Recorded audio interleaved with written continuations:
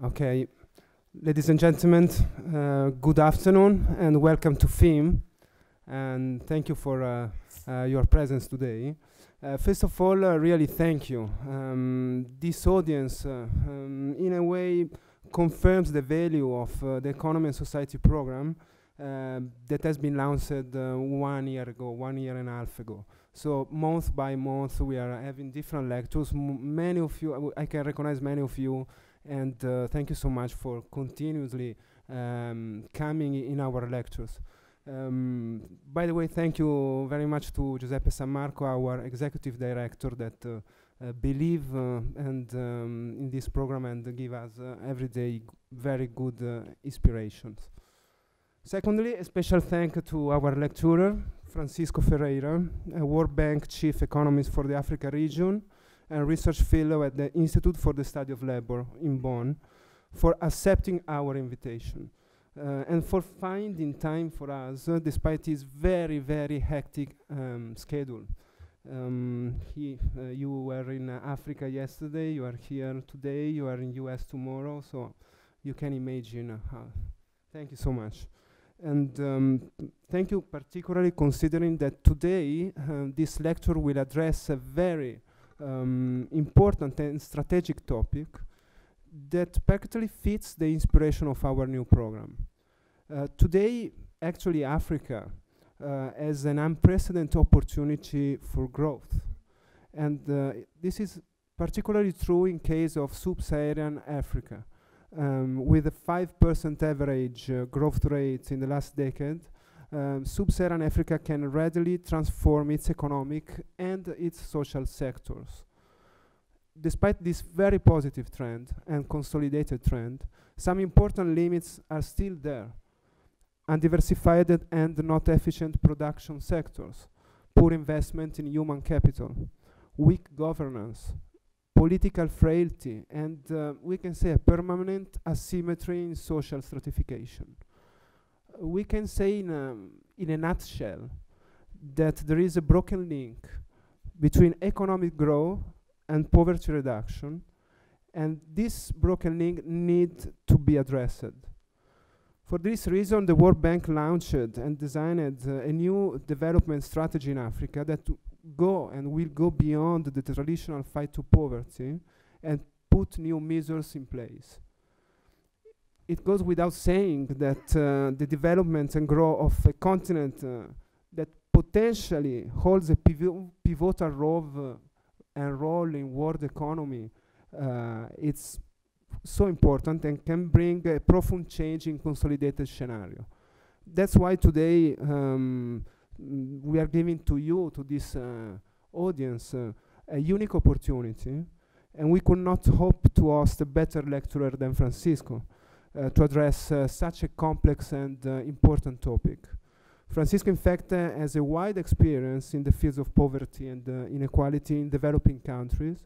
He was formerly a lead economist in the Bank Research Department, serv served as deputy chief economist for Latin America and the Caribbean, and as co-director of the World Development Report 2006 on uh, inequity and poverty um, Francisco has published widely and was awarded um, many prizes, many important prizes for uh, his research on these topics. So therefore today we have uh, really again a unique opportunity to learn more about the World Bank new development strategies directly from the experience of one of its main representatives and from an internationally renowned expert in the field. So I don't want to take any more time from uh, this lecture and uh, I'm very pleased to give the floor to Francisco Ferreira. Again, thank you very much for your kind attention and we really hope you will enjoy our lecture today. Thank you. Thank, thank you very much, Filippo, for that, that very kind introduction, uh, possibly a little too generous. The pleasure is entirely mine to be here in, in Milan. It was a lovely way to come uh, from Lusaka, where I was yesterday on my way on my way back, and it's a great pleasure to be to be here with you today. What I want to do, ah, and my apologies for not giving the lecture in Italian, but uh, I can't I can't do that. So um, thank you for listening to it in English. Um, what what I want to to do is uh, talk a little bit about this broken link that, uh, that, that Filippo mentioned uh, between growth uh, and poverty reduction in Africa. Um, and, and because uh, when you talk about growth and poverty reduction, uh, inevitably the distribution mediates that. I want to talk about inequality um, as well. the talk has three parts. in the first one, I want to delve a little bit deeper into the growth story. We've all heard about Africa rising um, and, and the very impressive uh, performance in growth in the last few years. And I want to talk a little bit about that, but also uh, look a little bit at the patterns of growth and the differences in growth across countries, but also within countries. Uh, look a little bit at the taxonomy of growth in Africa. Um, and then from there, I want to talk about what kind of impacts that growth is or is not having on poverty and how that effect is mediated by inequality. So that's the analytical part, the first two thirds of the talk. And then in conclusion, I want to talk a little bit about four key policy areas uh, that we tend to see in the Africa region of the World Bank as essential uh, components of a, of a strategy to, to make that growth more inclusive. And my apologies, I'm getting a little bit of a cold from uh, you know the transition between the, the, heat and the air conditioning in planes and all of that stuff. Uh, but I will, I will. Then the four areas are macroeconomic management in the current external scenario, uh, investment in human and physical capital, uh, and those two, in a sense, are the broad, uh, the broad brush kind of distribution neutral components of growth. And then the next two um, are the ones which are really focused on making growth more inclusive. And they are promoting growth in the places and sectors where the, poors, the poor people are, as well as creating mechanisms such as social protection and promotion systems that enable the poor to share in growth taking place elsewhere. But we'll get to that at the end. So let me start with, uh, with the growth profile. And let me start, in fact, with the long term picture of that, which is the sort of uh, growth picture in Africa um, in the post independence period, the long view. So this is uh, the levels of GDP per capita in logarithms. Uh, let me make sure this is on. Yeah. Uh, from 1960 to, to today. And it's this amazing N shaped curve, right? It's quite a striking curve in the sense that these are levels, although they're in logs. Uh, so there was growth in the 60s up until around the first oil shock in 1973-74 and then this marked period of prolonged and sustained decline in the levels of GDP per capita in, the, in, in these countries. So this is the average for sub-Saharan Africa. And you really observe a tragedy there of these two lost decades between around 1973-74 and around 1993-94. As a consequence both of an external uh, environment which was detrimental to Africa, but also of a number of, uh, of failed policy paradigms and experiments um, around nationalization and other uh, uh, and, and, other strategies, as well then as a very painful and perhaps poorly administered medicine for that, which was structural adjustment in the 1980s, where the World Bank and the IMF are themselves in part to blame, perhaps, for some of that. So those uh, those uh, that was a period that was uh, quite a dramatic period. When in our uh, uh, mindset, we returned to seeing Africa as this dark and lost continent where things were, were going wrong. Um, now, as you know, if you, if you follow the African, uh, the African story a little bit, the, the, the narrative is now quite different. So beginning in the mid-90s, you see this big rise again which is what you know um, Africans and others refer to as the Africa Rising story. So these are now 20 years of sustained growth, which have led um, Africa to pass its previous peak, and so we now have a GDP per capita higher than we've ever had before. And if you go, for example, to Lusaka, where I was yesterday, um, I was with a colleague who'd been there 15 years before, and he said the place is unrecognizable. And you hear that um, uh, about city after city in Africa. So it's not happening everywhere, as we're about to see, but there clearly is some growth. of course, one should uh, be cautious that that growth that we have seen by no means implies that Africa is converging to the living standards of the rich world. What we have here um, is those levels uh, in the blue line, which is sub-Saharan Africa. We have the, the level uh, of GDP per capita relative to the Eurozone GDP per capita. So you see that because, you know, of course, whilst Africa's GDP was declining between the 70s and the 90s, Europe kept growing, albeit slowly. So in fact, this, this uh, line here keeps trending down until around 2002 or so, when it picks up slowly again. Um, the two other lines are for when you divide Africa into two groups. One group, so there's 44 countries there, and we divided them into the the faster growing sample and the slower growing sample. And the faster growing sample was defined as countries that managed to grow at 3.5% per capita per year for at least five years in a row. So that managed to sustain growth booms for a reasonable period. It turns out, with that definition, there are 21 countries, which is almost half the sample. These are the green here, and, and the slower growing ones are the red over here. So a few things to note about that. First of all, the most impressive numbers in this, in this chart, as you can see, are the absolute levels, or, or, rad, or rather the, the, the, levels of, of, of well-being, of, of, of, GDP per capita in Africa relative to Europe, you know, 3%. Okay? So however much there has been growth, there clearly is a very long way to go. Living standards at PPP exchange rates are still at around 3% of what they are in the euro area, despite this growth. Okay? Um, so the other thing to notice is that there is convergence within Africa, even if the convergence between Africa and the West is slow, because these are the fast-growing countries. You can see that they're lower than the slow-growing countries. So by and, and, by definition, since these are faster than these ones, that gap has been narrowing. So there is some convergence within Africa. But this picture reminds us that despite the big success, you know, clearly a lot of work remains to be done. There's no reason why Africa is, should be condemned to be poorer than the West, but clearly there is a long way to go until they catch up. now, to talk about this growth, one thing that I think we can emphasize is that in many ways, this growth has been high quality. And let me talk about two of them.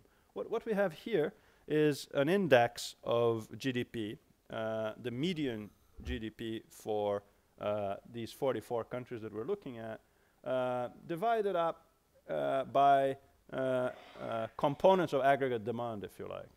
And what you see is that investment, which is this line over here, is growing, and that's public and private investment, is growing much faster than consumption, public and private.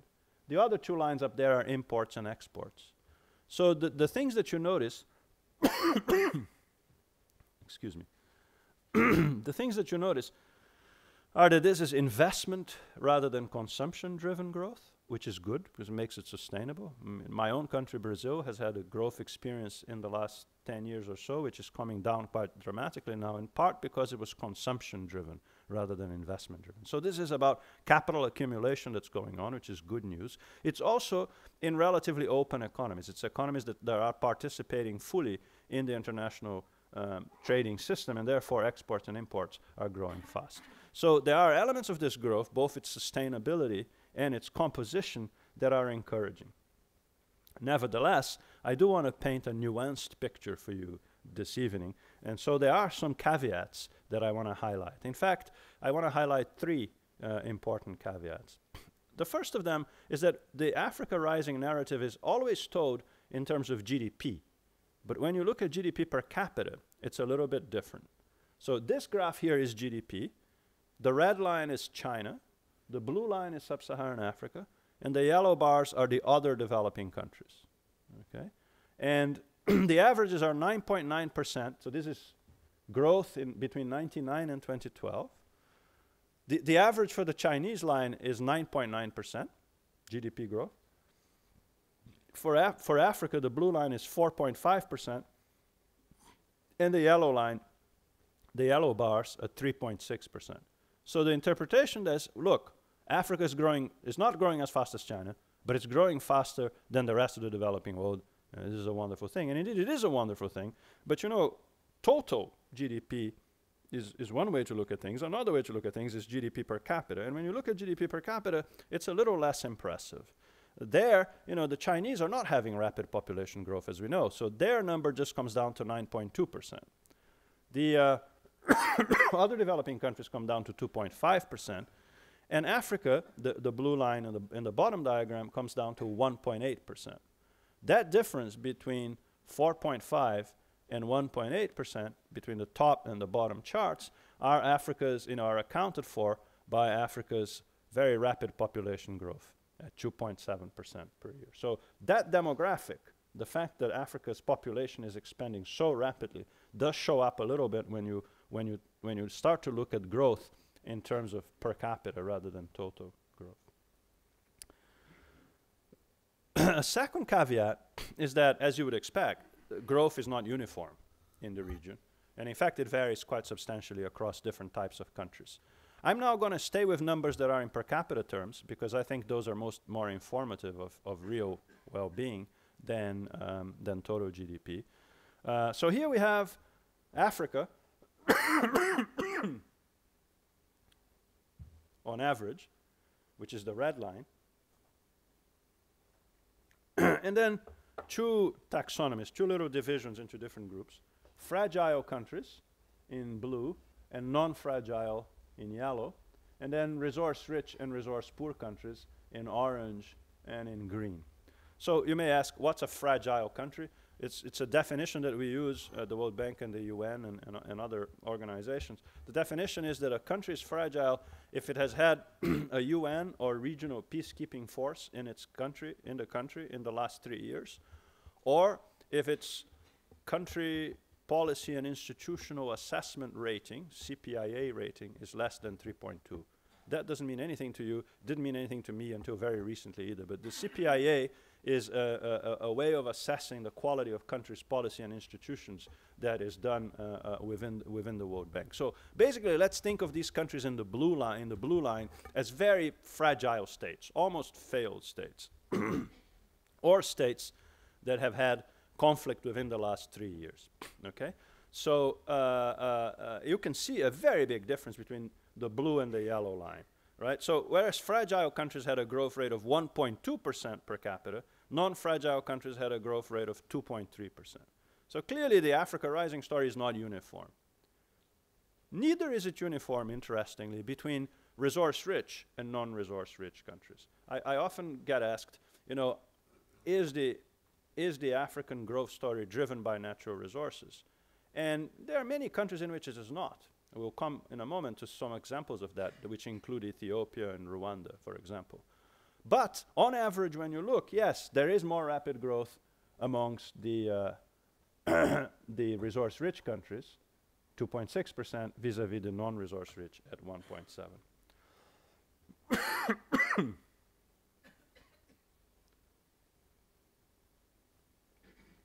so that's the second caveat. The first caveat was per capita is lower. The second caveat is that the performance is heterogeneous across countries. The third, oh, before I get to the third caveat, another way of looking at that is to look at these two, two charts here. So up there, we have, in, in both charts, we have the same countries, exactly the same countries. and the bars are their uh, GDP growth per capita on average between 1995 and 2012 um, in, annual, in annual rates. Right? In the top graph, you've got the resource-rich countries in orange. And the point is that you know, the orange bars tend to be to the right of this graph, okay? Although you can see, as I was saying, that there are some non-resource-rich uh, countries that are growing quite strongly. Cape Verde, Rwanda, and Ethiopia in particular, uh, but also uh, Uganda and Mauritius doing very well. So there are some very successful non-resource-rich countries, but on the whole, the resource-rich countries are growing faster. In the bottom, we show the, the fragile and conflict-affected states in red. And you can see that with the exception of Liberia, which is basically a, a, a, a conflict country, oops, don't go away. Yeah. Uh, a conflict country that was booming back after the Civil War. So after the Civil War, there was a, a kind of rebound, and that's what this is picking up here. Apart from that, you know, um, the red bars tend to be towards the left, and in particular, all of the countries that actually lost GDP per capita in this period, all of them are uh, uh, countries that are fragile or conflict affected, like Zimbabwe, Burundi, Guinea-Bissau, Eritrea, and so on.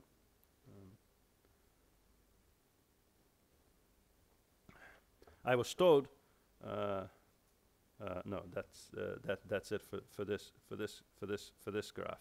So that, that's still the heterogeneity across countries. Now, as I was saying, there's also heterogeneity within countries across sectors. Within each economy, these countries are not growing in the same way. Okay? In fact, the, the, the sectoral composition of growth is quite different. And when we look at these uh, 44 countries and, and the average for them, we see uh, a big growth in the resource sector, that's in green, the service sector, that's in yellow, um, and, and slower growth in agriculture and manufacturing. this growth in services is really quite, quite remarkable. Um, and what it means is that when we look uh, here, we look only at the fast growing countries, the ones that I mentioned before to you that have you know, this growth of 3.5% uh, uh, per capita for at least five years. So that's the upper half of the sample. And we divide them between the, the resource-rich part of that sample and the non-resource-rich part of that sample. And in both, you see the resources sector strong, but not particularly, you know, the composition not, not, not changing very much. These are shares, okay? What we have here are the shares of GDP, earlier in the blue bar, and then later in the, in the orange bar. And, you know, resources are not changing very much. What you see is a decline in the agriculture and manufacturing shares and an increase in the service share. This relates very much to a conversation that's very important in Africa today, which is that of structural economic transformation.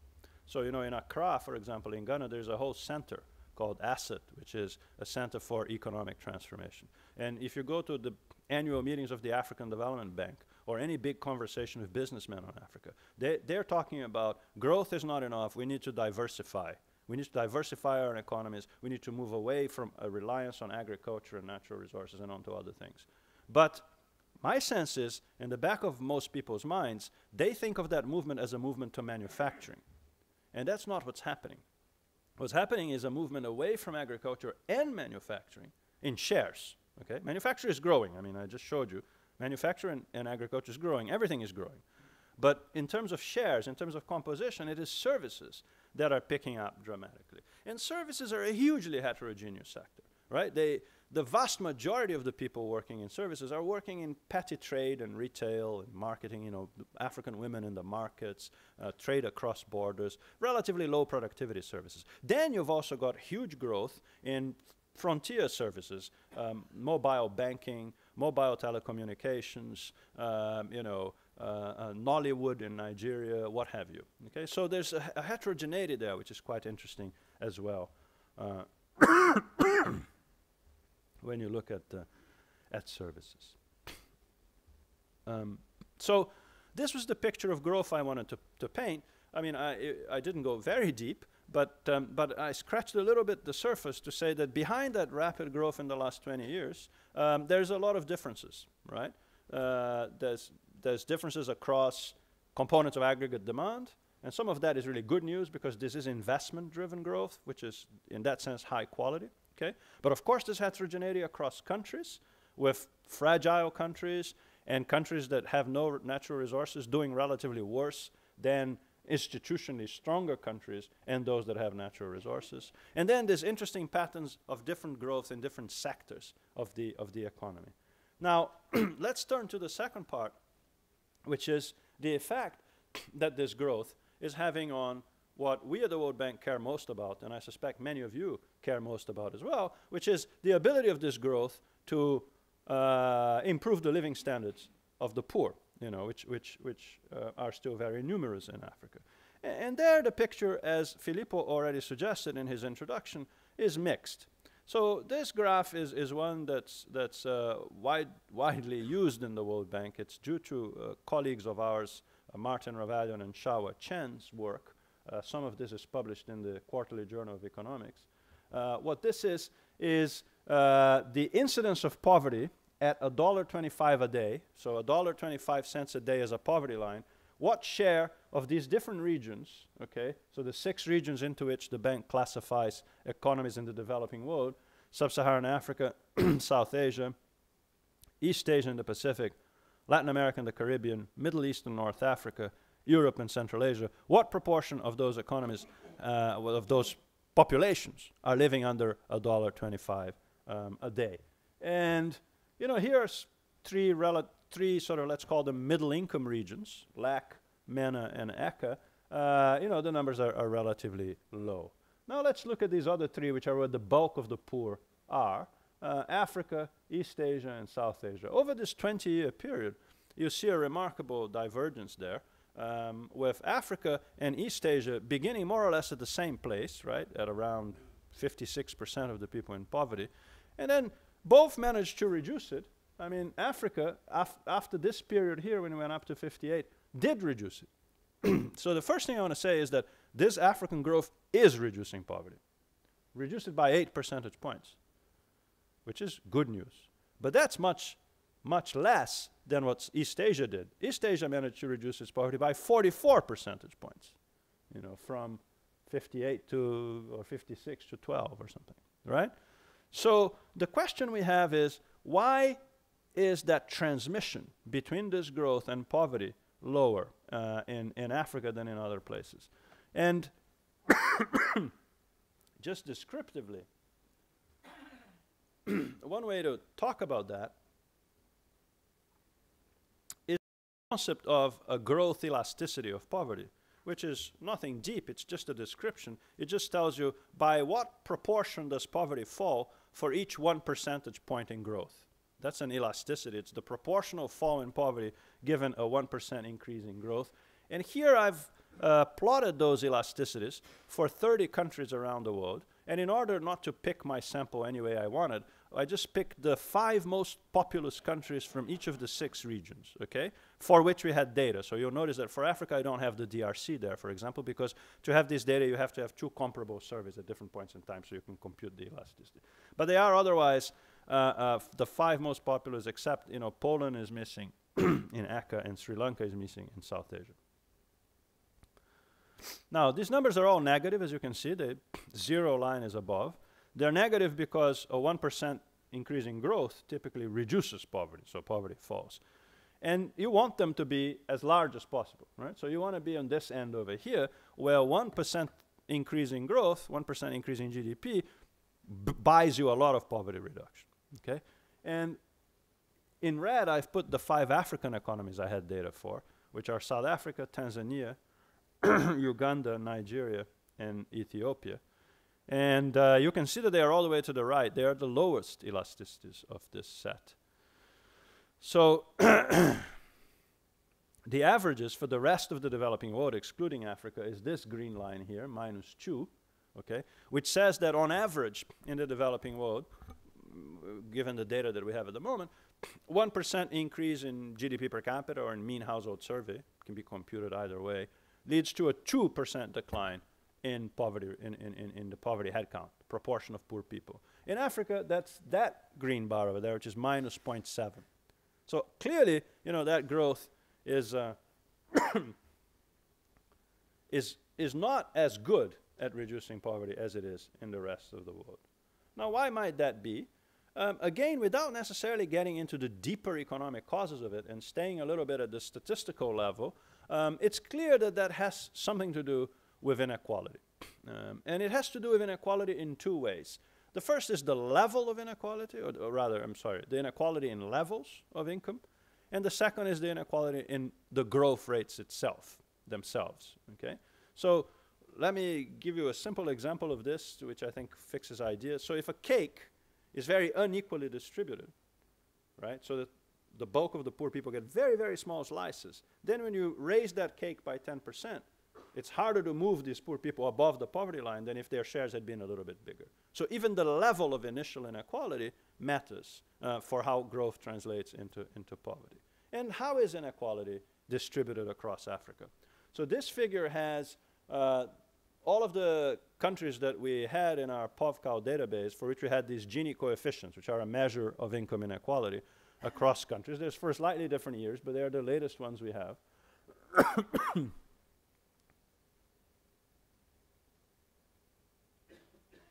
You know what I think? I think we're using that slightly older version because the arrows are still pointing to Zambia. But I'll, I'll, carry on. I had some arrows pointing to Mozambique because Filippo told me that you guys were more interested in Mozambique. So, um, but but uh, we have the two presentations in the computer. I'm not going to change them right now. The, the, the, the, bulk of the presentations are the same. Uh, so when we, when we look here, right, we've got all these different countries with Gini coefficients. The different colors are as follows. Um, red is Africa, blue are other countries, light blue is a consumption Gini, and dark blue is an income Gini. And I mark them that way because if you follow these kinds of things, you know the consumption Ginis are always lower than the income Gini, so you shouldn't really compare them. So I'm showing at least which ones are income and which ones are consumption. For Africa, they're all red because they're all consumption with one exception, which is Namibia, which uses income. Okay? So two things to take away for me uh, from this picture. One is how um, disparate inequality is in Africa. So you've got countries with relatively low levels of inequality, like Mali and Burundi and Ethiopia there at that end with, with Gini coefficients just in the 30s, which are really quite low. Okay. On the other hand, you have a whole bunch of countries here at the end which are, have much higher levels of, of, of inequality. That's different, for example, from my own region, and a region that I know much better and have studied much longer, which is Latin America, uh, where um, inequality differs across countries, but much less. Latin American countries are all towards this upper end here. Okay, so that's one difference. Second difference, second interesting thing about this picture is that for a Latin American like me is that I expected these countries up here to be mostly Latin American. But it turns out when you have all the countries in the world lined up like this, that in the top 10, seven of the most of the 10 most unequal economies, seven are in Africa. Yeah? They are the Seychelles, Comoros, Namibia, South Africa, Botswana, Zambia, and the Central African Republic. So there is a, a, a core of countries, mostly in southern Africa, some in Central Africa, the two islands, that, uh, that are very unequal. And of course, as I was saying, when you have that inequality in levels, that just by itself is going to lower your growth elasticity of poverty. It's going to make it harder for a given amount of growth to, um, to, uh, to reduce poverty.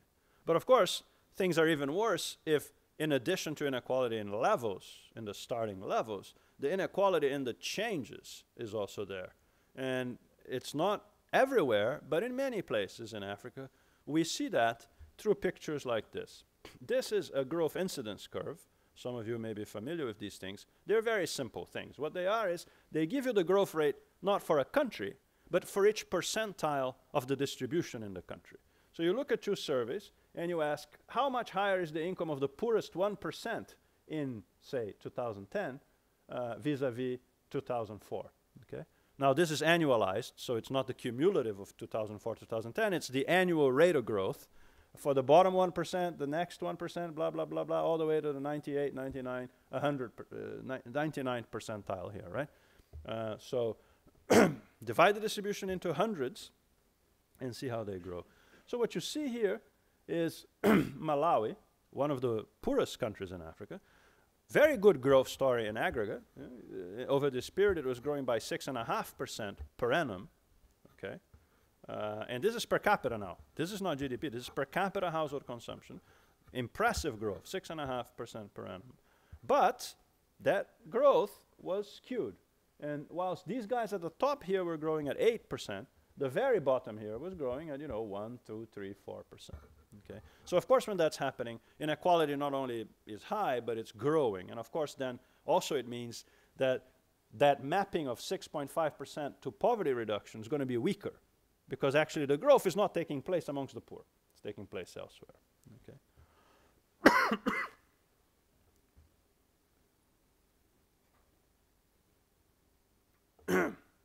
These inequalities in levels or changes in income generally reflect also deeper inequalities, inequalities in opportunities that are available to different people. So um, here, for example, we have uh, a, a, a, a, figure, uh, a, picture of uh, completion of grade six in primary school uh, amongst 15 to 19 year olds. So it's a measure of schooling attainment that captures both enrollment and delay. Okay, so it, it's capturing uh, the extent to which 15 to 19 year olds have managed to complete gra grade 6, which, th which they should have done under standard conditions by, by age 13. Right? If they entered at 7 and done 6 grades, they would have finished by age 13. There are delays, there's evasion. So how many of these kids um, have finished grade 6 between 15 and 19? The red line is the average for different countries. Uh, these, are these come from the DHS, the Demographic and Health Survey. so the dates, uh,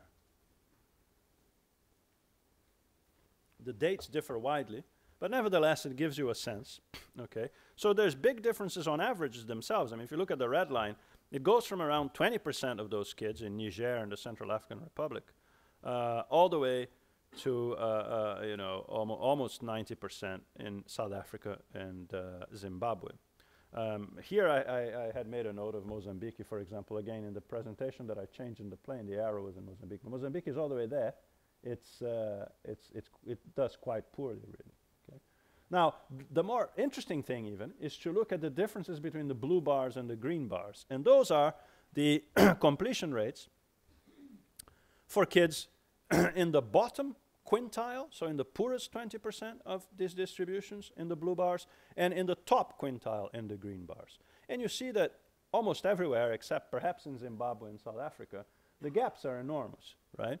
Uh, with uh, uh, people within the same country completing that schooling much, much more frequently if they come from the top of the wealth distribution than, than if they come from the bottom. And that's just one picture. You could do the same thing for access to health and a number of other um, indicators.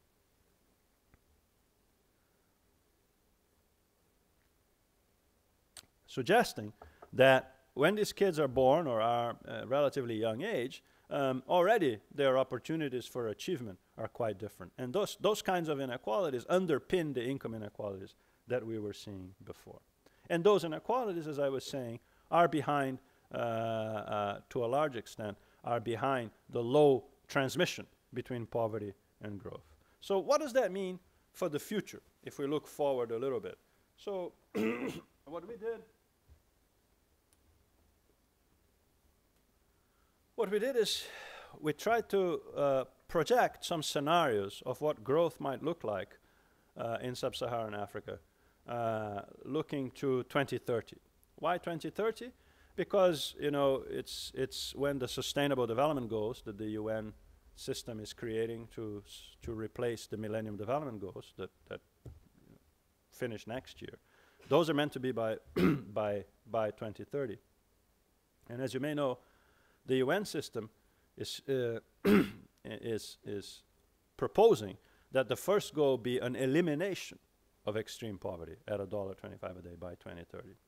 At the World Bank, we also have a goal which is very ambitious, but it's somewhat less ambitious, which is that we should reduce poverty by to 3% globally by 2030. Okay? So we, we thought, okay, let's look at this African growth scenarios and its elasticities and see what we could do.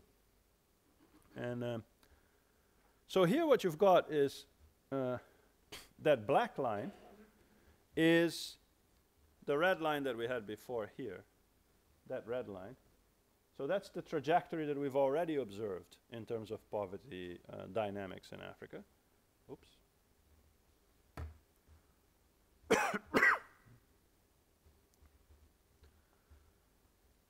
so that's the black line. The blue bars are numbers of poor people.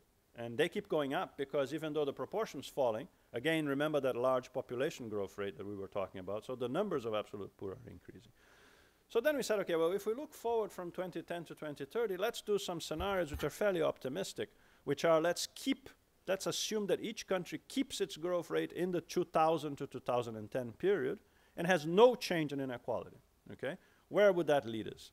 Well, it turns out it depends whether you're talking about growth in uh, GDP per capita or in the mean income on the household survey, because those are slightly different, but not very different. So that's what those two lines are. This is GDP per capita growth uh, as uh, for each country between 2000 and 2010. And, uh, and, uh, and scenario two is for uh, the mean uh, income in, in, the household survey. And so what they, they show you is that uh, there would be quite a bit of poverty reduction. You know, you, we remember that over here we are at 48% or 49%, so about half of the population. And if we were able to grow, if Africa was able to grow for 20 more years in the same way as it was growing in the last 10 years, we would get to between a quarter and a third of the population. Right? Now, notice that these are fairly optimistic scenarios because the last 10 years have been extremely good for Africa. You remember my first graph. Um, so, you, you, know, those, those have been 10 strong years. And also, this assumes no change in inequality. Nevertheless, that would be an achievement to be able to get it down to a quarter, uh, up to or, or, or, just under 30% of, of, of, of, poverty. Nowhere near the zero or the 3% that the US, that the UN is, is looking for, uh, but an achievement. Now, what does this mean in terms of the distribution of poverty? Uh, around the world. Because today, Africa contains about a third of the world's stock of poor people under $1.25. If we extrapolated the same scenario to other countries, so we let China, India, every other country also grow at the same rates as they've grown in between 2000 and 2010 with no change in inequality, then uh, this would imply a greater concentration of poverty in Africa. In fact, from a third of the poor living in Africa, we would move to between 63 and 78 percent uh, of uh, of the world's poor living living in Africa. So a, a, a, substantial concentration of poverty in Africa. Okay? So this comes from the fact that China and India have also grown very fast, and in fact faster than Africa over this period. So even in this rosy scenario, what this is telling us, uh, even in this uh, relatively optimistic scenario, what this is telling us is that we would still have quite a lot of poverty in Africa. So, in conclusion, for this first part of the talk, despite the Africa rising growth story, poverty in Africa remains high and the pace of reduction remains too slow. Right? Now, to improve on that, uh, we need to sustain economic growth, absolutely. Uh, growth in the next two decades, sustained at the kinds of rates we've seen so far, is essential for, prog for, for progress. But it's not sufficient. you know, we need that growth to be more inclusive, uh, and that more inclusive means with falling inequality in outcomes and in opportunities. So now let me turn briefly to some of the things that we think uh, can be done to achieve those two components growth to continue and be sustained, uh, but also to be more inclusive. So the first thing sounds a bit boring and um, IMF-ish, but it's incredibly important, and that is to maintain the macroeconomic uh, house in these countries in order. Uh, growth in Africa in the last uh, 20 years, and in particular in the last uh, 10 to 15 years, was based on uh, good policies, but it also benefited from uh, a very benign external scenario. And the external scenario was benign in a number of ways. Commodity prices uh, were rising, and this is what you see here. You see three series for uh, agricultural commodities, energy commodities, including oil, and metals and minerals.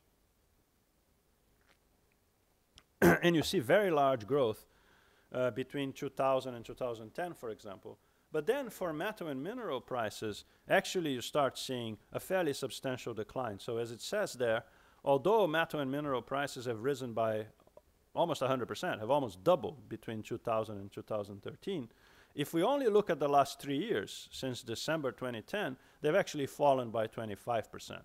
A reality that uh, my hosts in Zambia uh, were keenly aware of, given, as you know, of the importance of copper for their economy.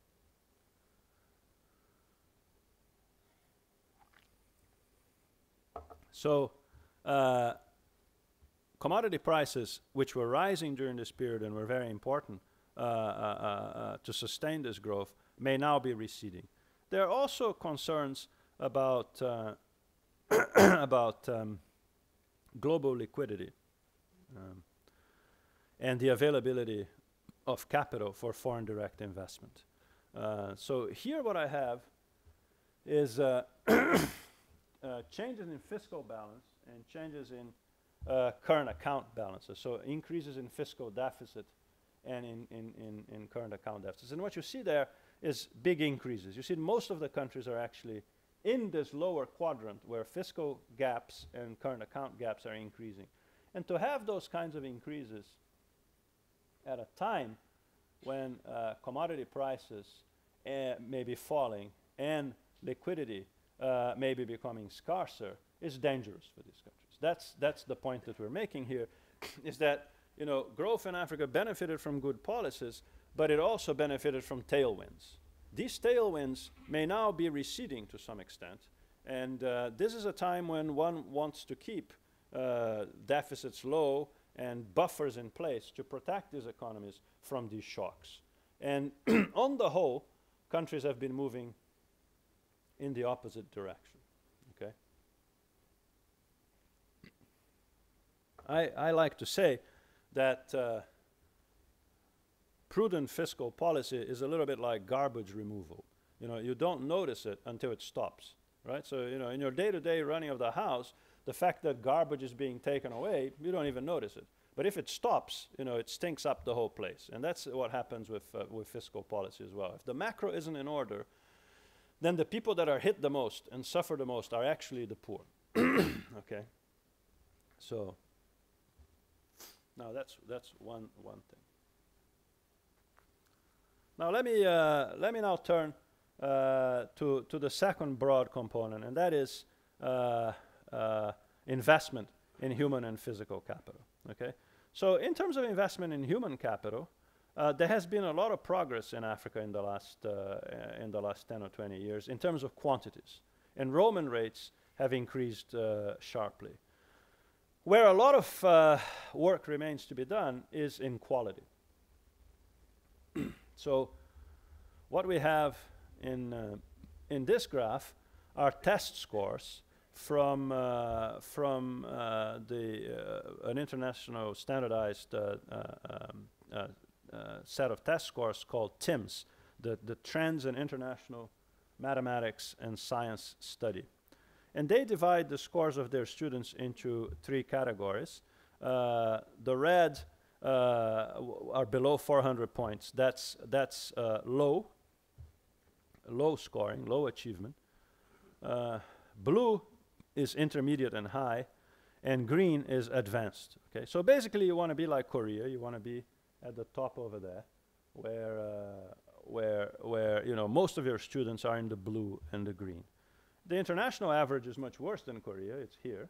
And you have about 25% uh, of students, so a quarter of students, doing poorly in these tests.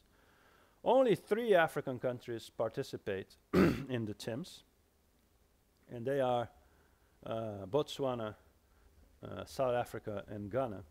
And you can see there uh, that all of them do much worse than the international average. South Africa and Ghana really quite a lot worse. Um, so, and this same picture that arises from TIMSS arises from other uh, uh, test scores, uh, uh, standardized test scores that can be compared across countries. So we have had some improvement uh, in terms of the quantity of investment in human capital, enrollment, and attendance, uh, but now we need to work much more on quality. and some of those, some of those problems with quality clearly arise from systemic failures in service delivery. So at the World Bank, we have this really interesting initiative called the Service Delivery uh, Initiative, which fields surveys at, uh, at um, delivery points for, for education and health services, so at schools and health clinics and so on. And uh, here are some, uh, they ask questions about a wide variety of indicators.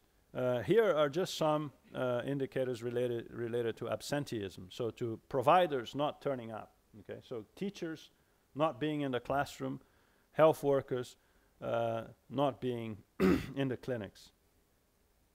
Uh, for six African countries, um, Kenya, Nigeria, Senegal, Tanzania, Togo, and Uganda. And you can see some amazingly high rates. I mean, just think for a moment if uh, at your school or the school that your kids go to, you had any number approaching this, like even if it was Nigeria, which is the lowest there, That means a fifth of the times when uh, your kid is in class, the teacher isn't there. In Uganda, those numbers are 57% for schools and 53% for, uh, for health workers.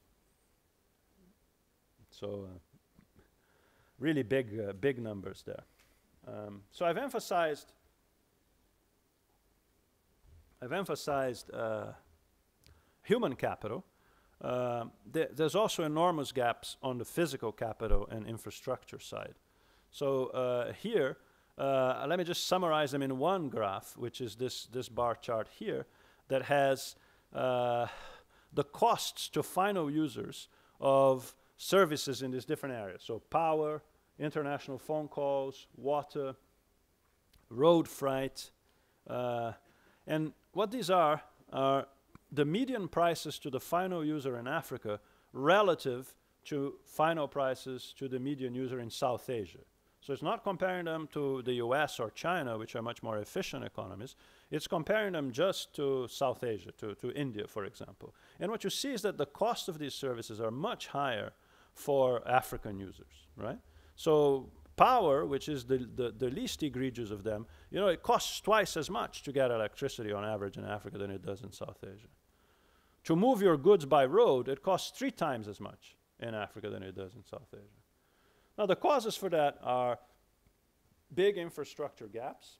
They are fragment, spatial fragmentation of these economies, a number of smaller countries with uh, dispersed populations, uh, lots of borders to deal with. Each of those things add to cost. So, uh, uh, you know, geographic fragmentation, lack of competition in some cases, oligopolized or monopolistic trucking sectors. So there's a number of different causes to this, and they vary by sector.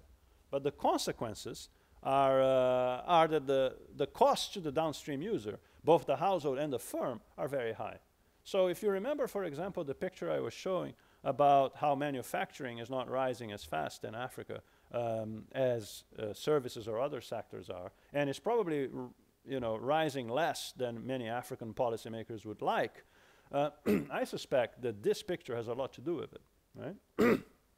how can you uh,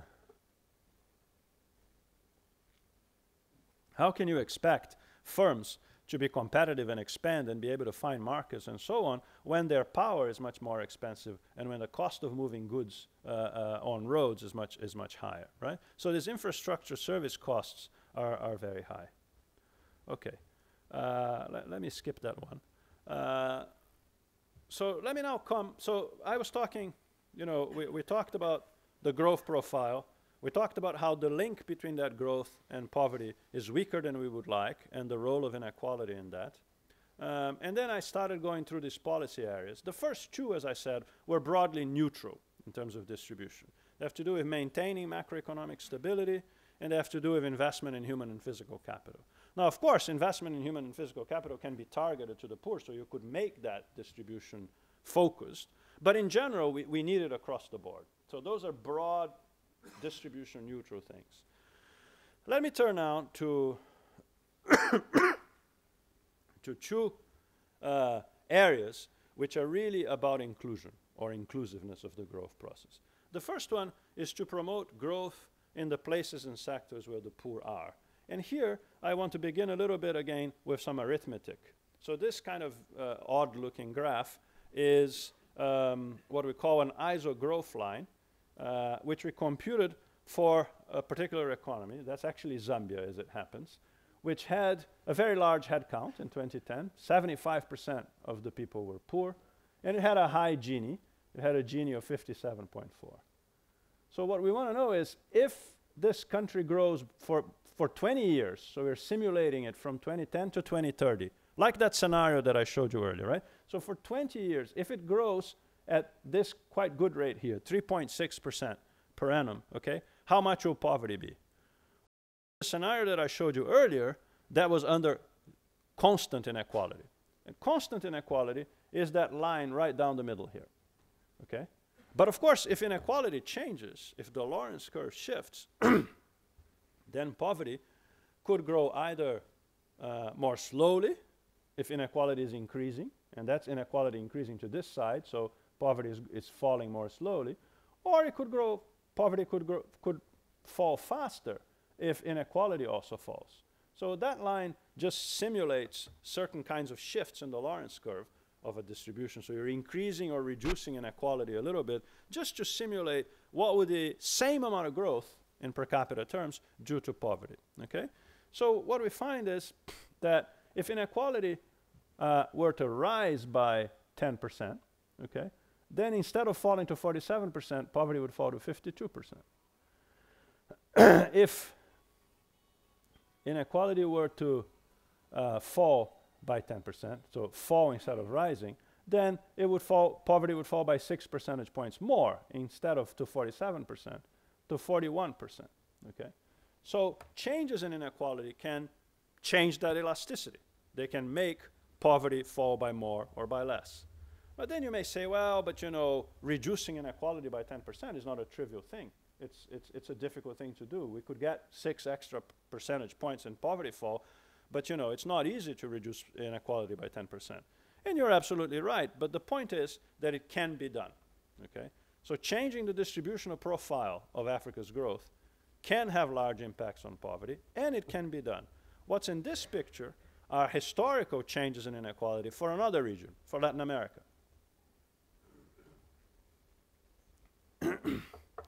Latin America, as I've told you, is a high inequality region. Inequality has been very high there. But in the last uh, decade, um, it, ha it has seen quite systematic declines in inequality. So what we have here are annual rates of change in the Gini coefficient for a bunch of Latin American countries and then some other comparator countries uh, over here.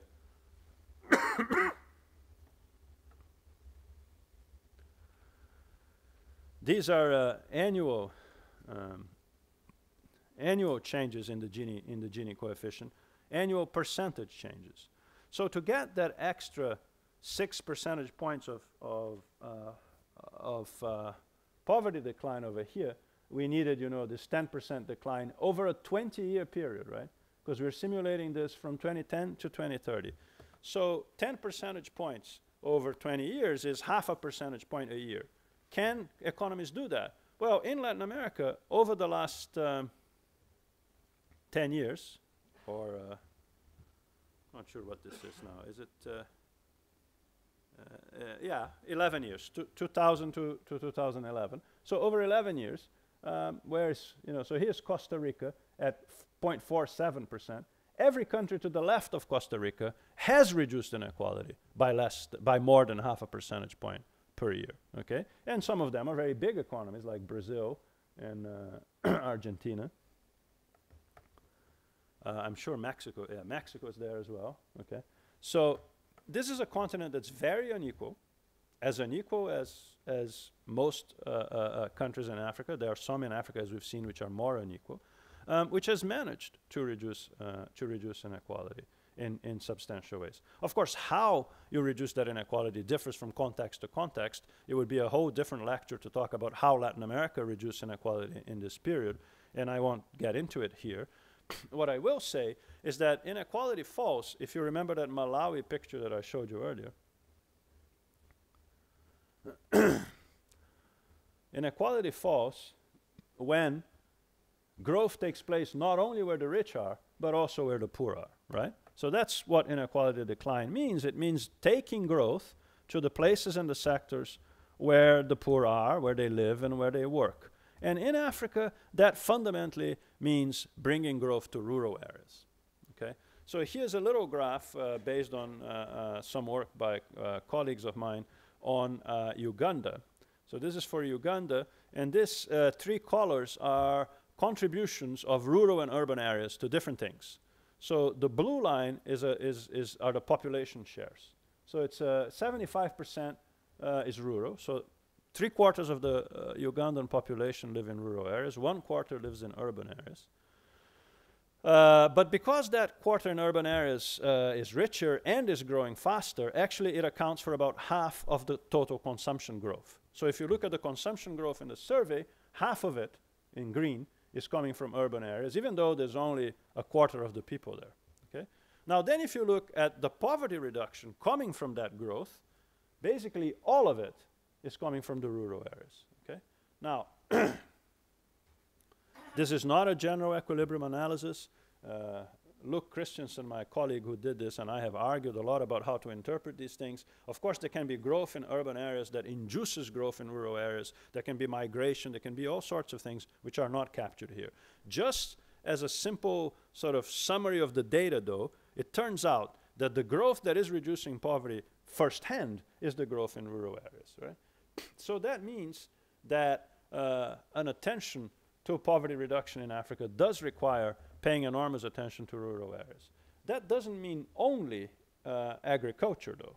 Uh, it does certainly mean that we need to sort of focus on policies that increase agricultural productivity, which remains very, very low for subsistence farmers, which is the vast majority of the working poor in Africa. The vast majority of the working poor in Africa are self employed and work for themselves in small plots in agriculture, right?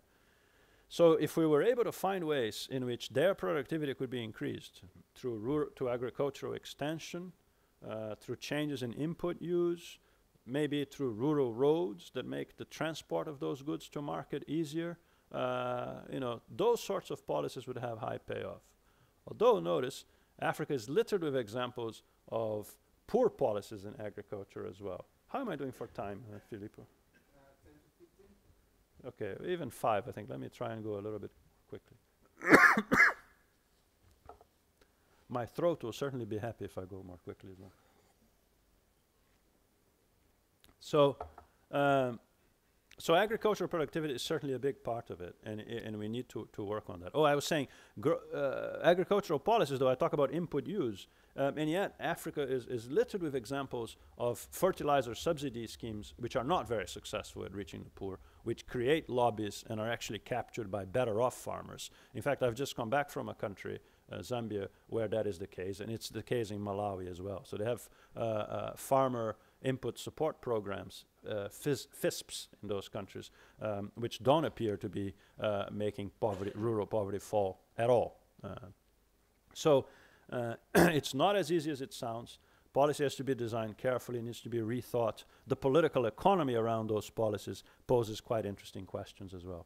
But I want to emphasize that besides agriculture, there are other kinds of rural uh, interventions that are important. Quite a lot of the poverty reduction that we see in rural areas is actually when farmers are able to move to off-farm employment and other activities that are not farming in rural areas. Uh, we see a lot of transitions when we can look at panel data and uh, Luc and Jonathan look at panel data in, in, this case, and they find that quite a lot of the people leaving poverty are those that have managed to get some other activity in addition to agriculture. It could be uh, um, uh, uh, handicrafts, it could be trading, um, it could be a number of other things that go on uh, in, in, in these areas. And in fact, some of those, almost all of those things are actually services, and they are why services is, is such an important uh, part of the, of the growth story, also at the bottom of the distribution, as we saw earlier.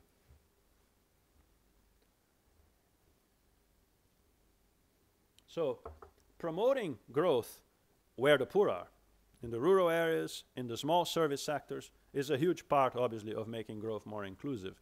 But let's not kid ourselves. This is a continent with large amounts of, uh, of uh, natural resources, uh, as we've seen. Some of the fastest growing countries have huge natural resource sectors. And if you go to Angola or Nigeria or Zambia, where there's copper, or Botswana, where there are diamonds, you're not going to say, forget the natural resource sectors, right? I mean, those are big parts of the growth. They attract a lot of investment. So there's also an alternative open to these countries and to their governments, which is to harness the growth that's taking place in those sectors, even though they employ very few poor people, um, almost none. The people who get employed by these sectors are not poor. They may not be rich, but they're not the poor that we're talking about here. So how can we do that?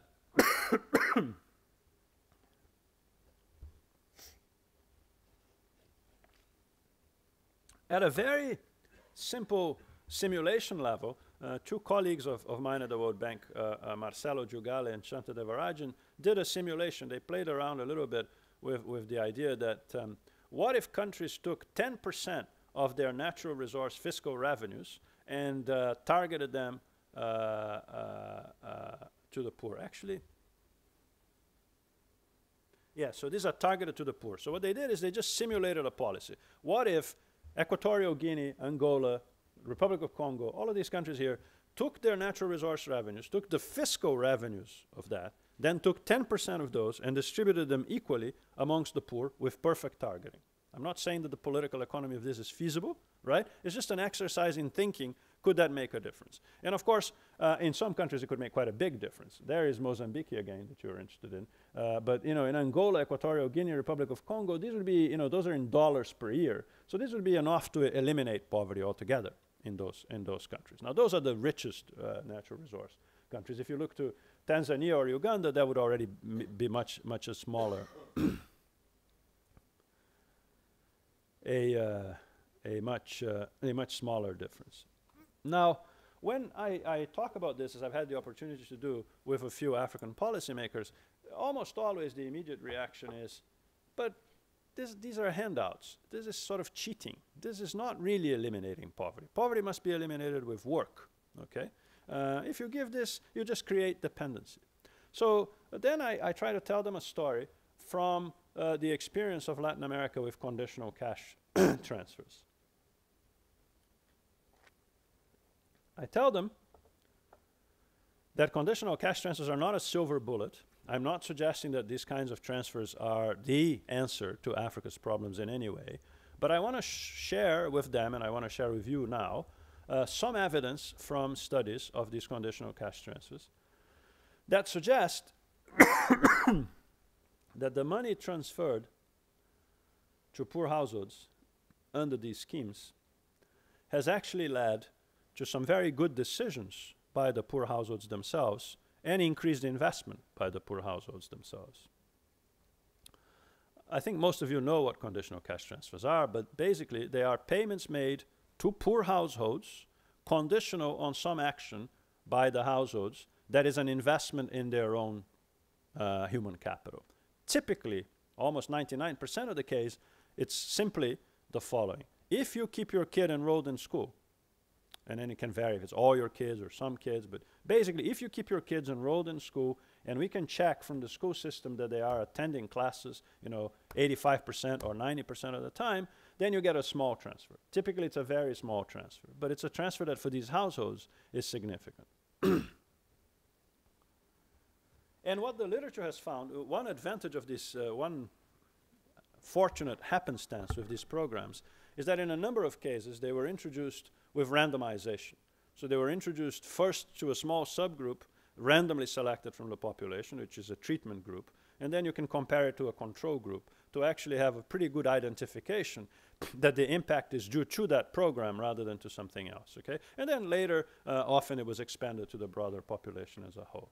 Uh, so what I want to do is just quickly tell you a few elements of, of, of this. One of them, which is here, uh, this is work by uh, uh Norbert Schady and his co-authors on uh, two countries, Ecuador and Nicaragua.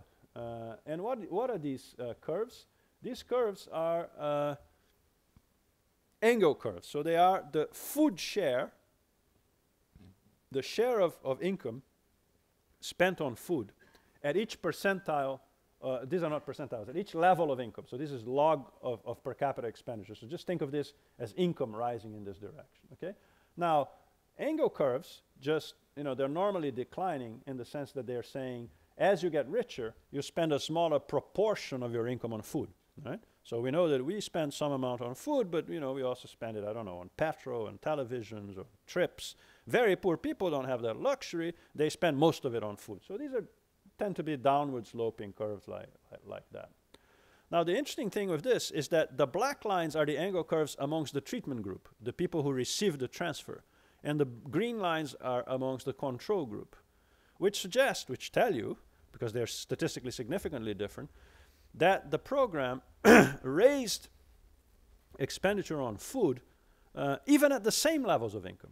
This is quite interesting also because it's telling you that it wasn't just a movement along the Engel curve, as you might expect if it was just the income effect of the transfer. There was also some additional effect, perhaps because they are often accompanied by lectures to the mothers, uh, publicity campaigns, all kinds of things, you know, that target these things as an investment in your children.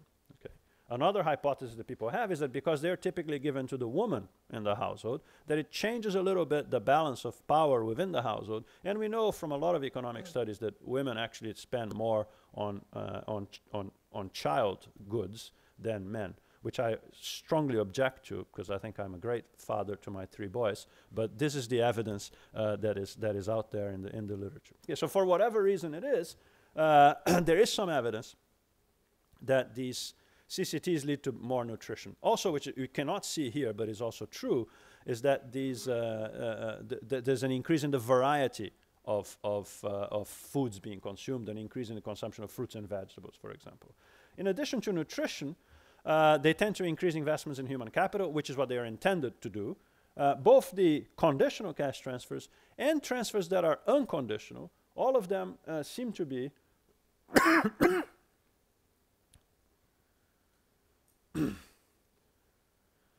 on average, associated with uh, increases in enrollment. So what you got here in green are increases in enrollment, and then the, the black are uh, confidence intervals around them. Uh, this is from a, a, a, systematic review of, of interventions that we did with some co-authors.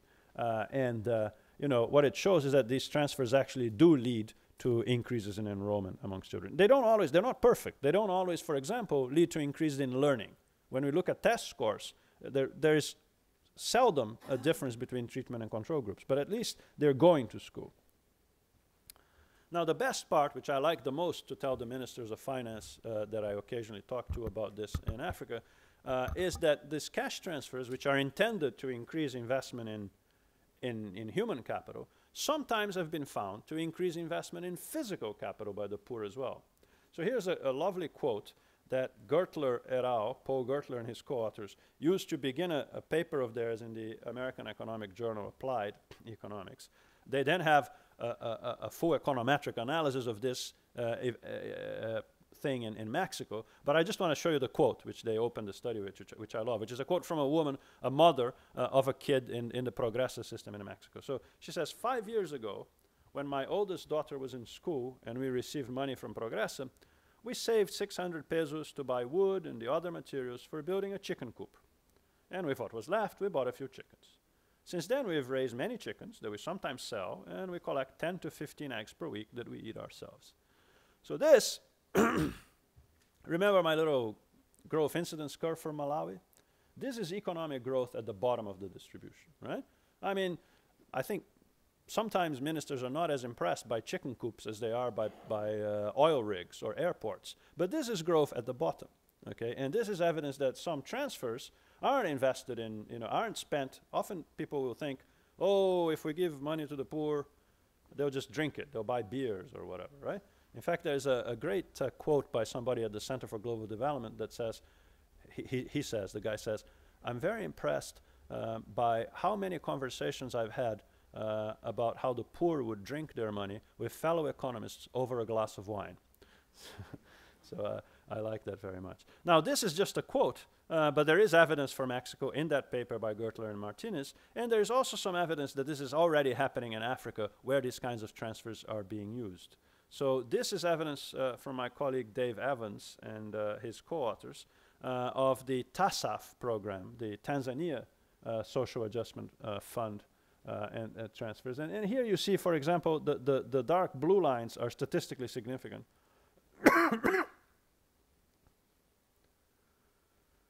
so these are uh,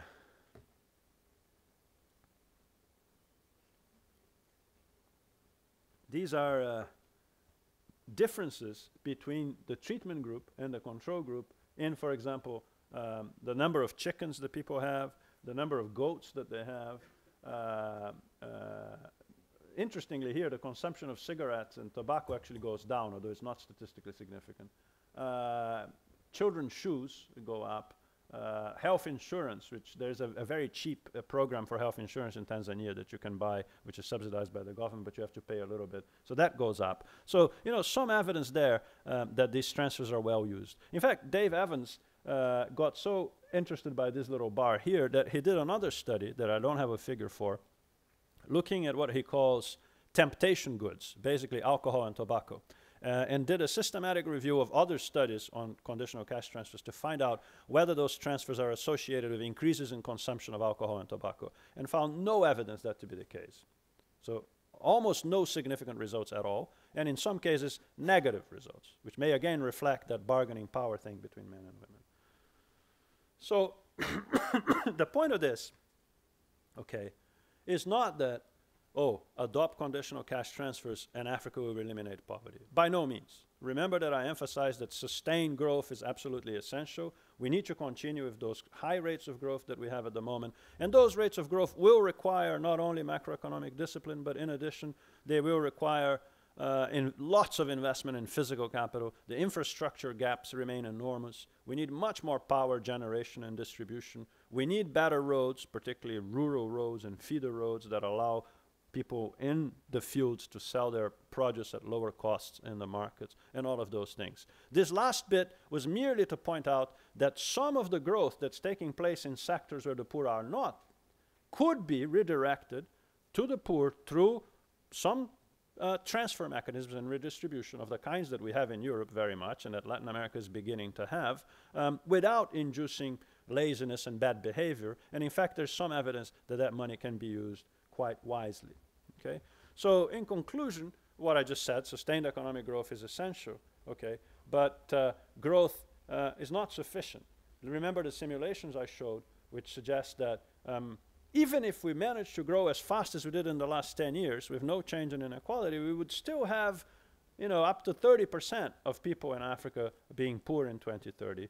And most of the poor people in the world by then would be concentrated in Africa. So if we are to stand a chance of, of doing better than that, we need to have reductions in inequality, in inequality of opportunities and of incomes, and making that growth pattern more inclusive, both by promoting growth where they are and where the poor are working, and also perhaps through some redistribution of growth that takes place in other sectors to, to the poor. So let me leave it there. Sorry that I, that I took long. Thank you very much for your lecture. Very, very interesting. I would uh, uh, start from the your final end, which is cash transfer is a good policy, could, could be a good policy to have growth where the poor are. Uh, my question is very easy. You said also that uh, in Africa, population is spread all over the country, more than 50% is a rural population and so on. As far as I know, they are in uh, small villages, maybe in the forestry or whatever. So far, far away from the big cities in Africa. And you said that the problem is power and water. So the question is, I do agree with you about uh, uh, uh, some kind of uh, cash transfer devoted to a behavior.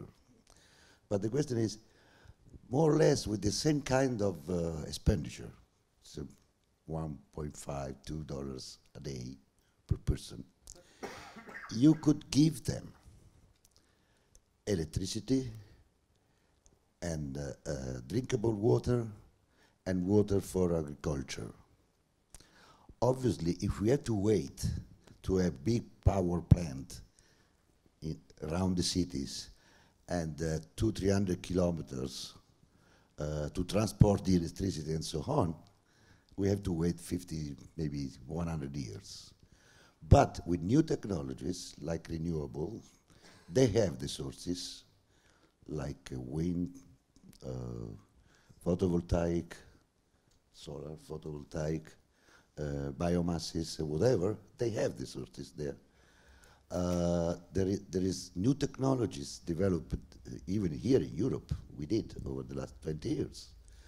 Uh, instead of having the cash transfer, or with, with the cash transfer, you could transfer the same kind of amount of money, which is one, two dollars a day per people. You, it's always the same story. Uh, do we have to give them a fish or a net to fish.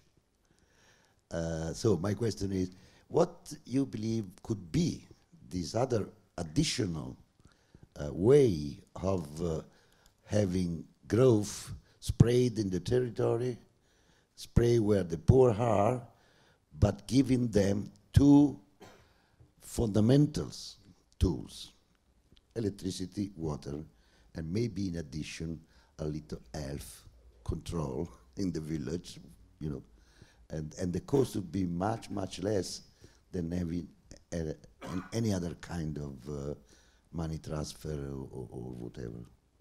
And where, in this case, what could be a private uh, contribution to this kind of uh, uh, policy growth, growth policy, sorry. Uh, I forgot to, to I forgot to tell my name. It's Mario Baldassarri. I'm professor of economics. I was at the University of Rome, La Sapienza. We go to the next? We collect just three, please. Giovanni Carbone, uh, Università di Milano. Uh, thanks for your presentation. Um, I really appreciated it. There's two things that um, I found somehow missing in your presentation. One is Nigeria. Uh, the Nigerian economy now accounts for one third of sub-Saharan Africa, so one third of the story is there. And according to the latest estimates, the 2014 estimates, it seems that uh, possibly uh, growth in the manufacturing sector, as far as, um, has been there a little bit more than was previously expected. Um, most of the data you presented do not include uh, data for 2013, these new estimates about the Nigerian economy. So my question is, do, these, do you expect uh, this new shape of the Nigerian economy revealed by these new data to affect your analysis, especially concerning the manufactur manufacturing uh, sector? And the second aspect uh, still concerns manufacturing. Uh, you talked about uh, structural transformation in Africa that is bypassing manufacturing. Uh, and this strikes me because it seems to me that uh, over the past few years, the talk has been about growth without structural transformation. Now you talk about the st structural tra transformation, you're saying that structural transformation is taking place, but uh, bypassing manufacturing. Uh, and in fact, you when, you, when you dealt with your policy implications, you essentially told us nothing about uh, prospects for uh, expanding the manufacturing sectors. Do you see any prospect for this, or, or the two, uh, two questions are somewhat related?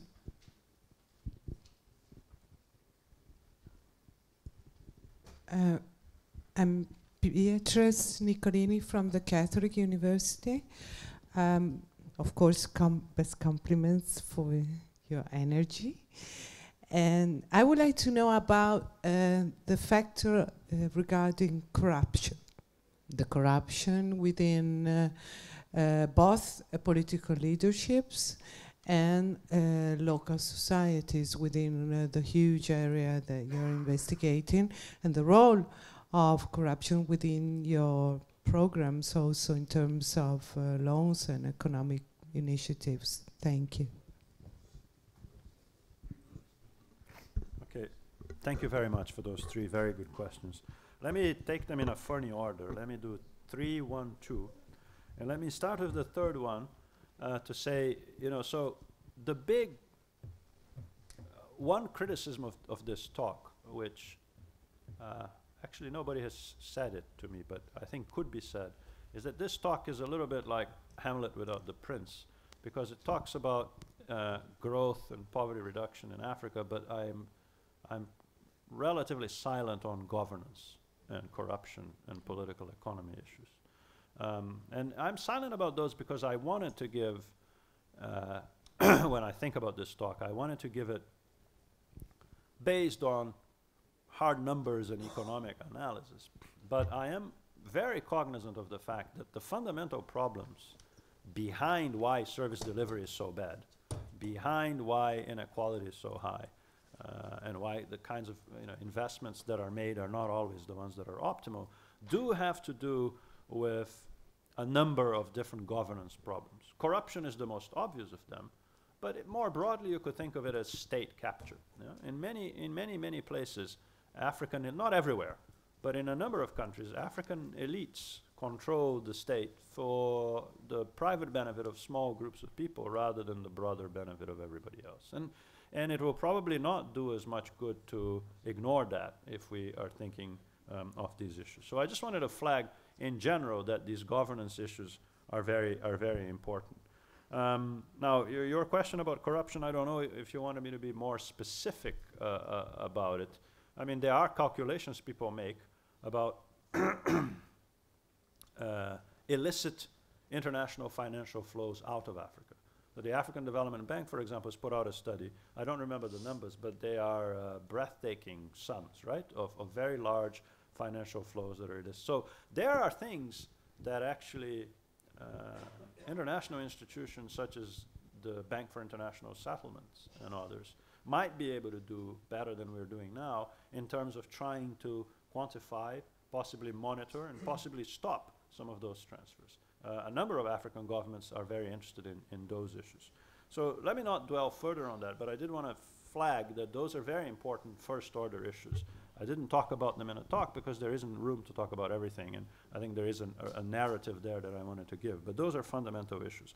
I'm reminded when we think about this of my, my friend and mentor, Francois Bourguignon, who was uh, a professor at the Paris School of Economics that I'm sure some of you know, uh, was chief economist at the bank for a while. He once told me when he came to the World Bank, after many years as a distinguished economist, he thought development was an economic problem. And when he left, he thought development was a political problem. Uh, and so, you know, that's, that's very much behind uh, everything that, that we're doing here. But I wanted to start with this question three before moving to, to your question, to, to, your, to the first question on cash transfers vis-a-vis -vis other public good provision. In part because one of the reasons that I emphasize cash transfers is that if there is a political economy equilibrium that agrees that some of it can be done, this is money that's being taken away from a large pool that otherwise can be stolen, okay, and is actually given uh, to poor people. And many people, uh, or there is a, at least a group of people, uh uh, including, for example, Todd Moss at the Center for Global Development, who view this kind of idea of, they call it oil to cash.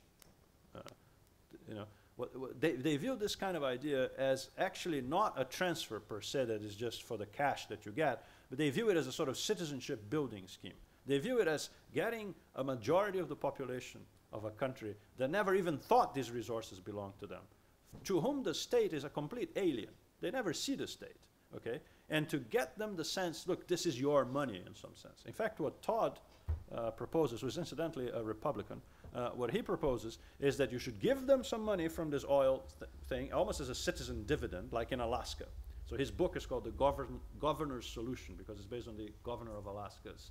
Uh, and in Alaska, you don't, you don't have to be poor, but any Alaskan citizen gets a dividend, right? Gets a check uh, in the mail every year or whatever as, as uh, his or her share of the oil. He Says give it to them and then tax it says Todd.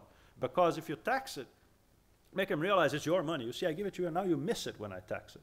Now do something about it. Now, I don't know whether that works or not, but there is a set, an element of, of citizenship building behind at least some of the proponents for this.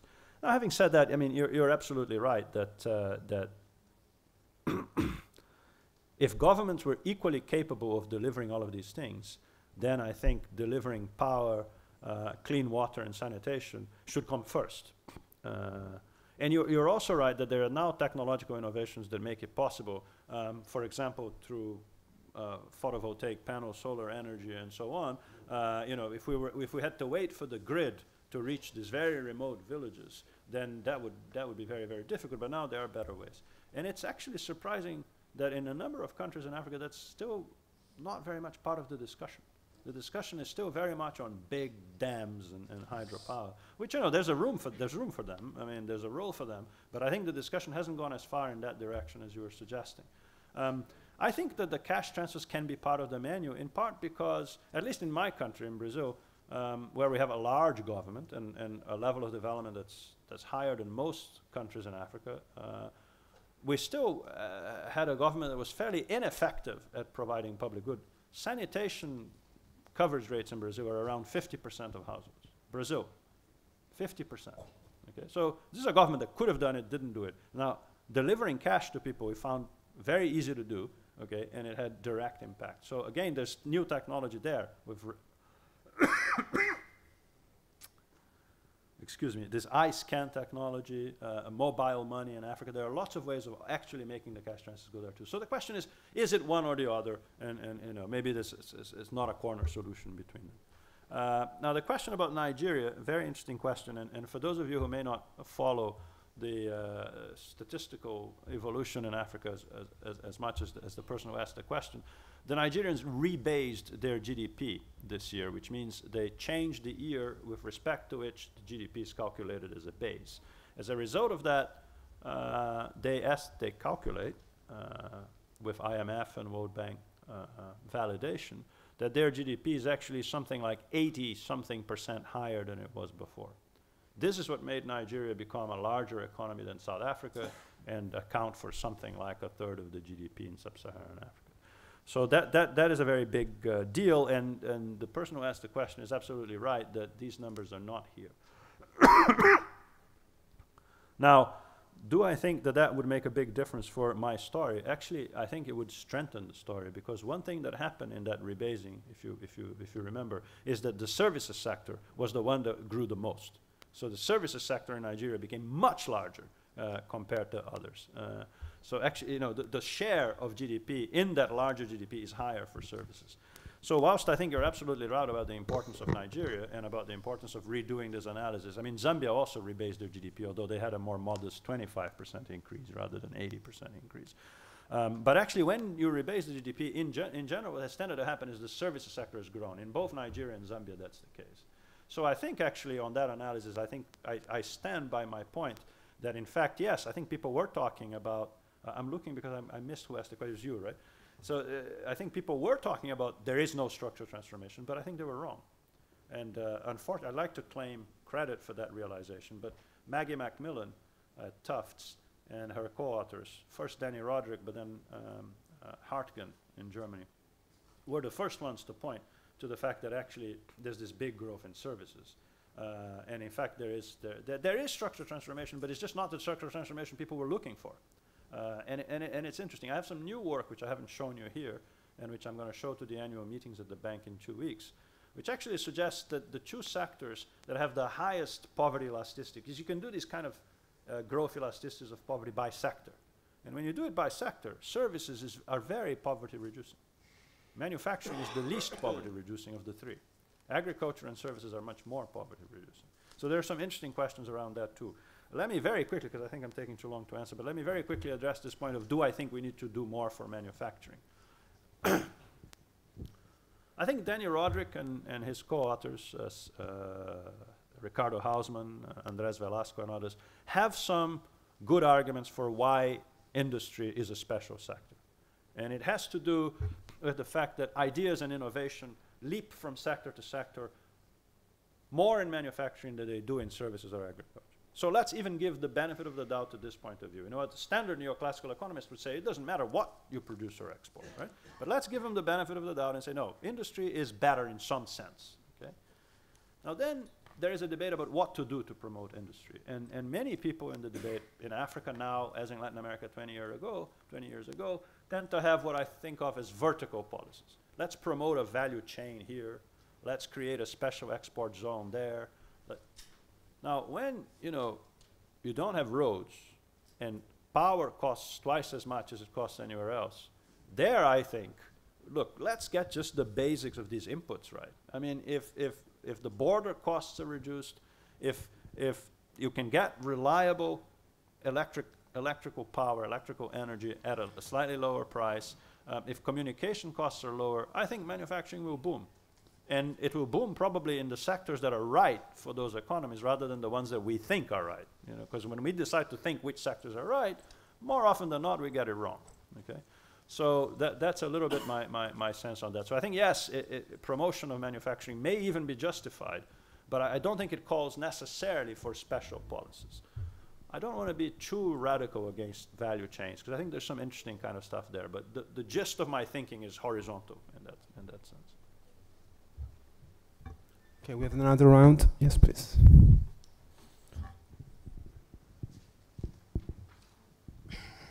My name is uh, Rinaldo Sorgenti. I represent Assocarboni. I just want to ask you a question. There are initiatives uh, that, uh, uh amongst the OECD countries, promoted, suggested by the United States, that are trying to compel or suggest to the financial institutions to reduce or even bet worse cancel financement funding for the development of uh, power generation through coal usage. You know that uh, 1.3 billion people totally miss, uh, do not have access to electricity, and 2.4 billion people in the world have just uh, need uh, use biomass, vegetal and animal bi biomass for eating and cooking at home. So, what do you think about these uh, silly initiatives amongst the OECD countries, the richest country, in order to cancel uh, funding uh, to produce electricity by the most important fuel uh, used in the world and in the most developed countries to produce electricity.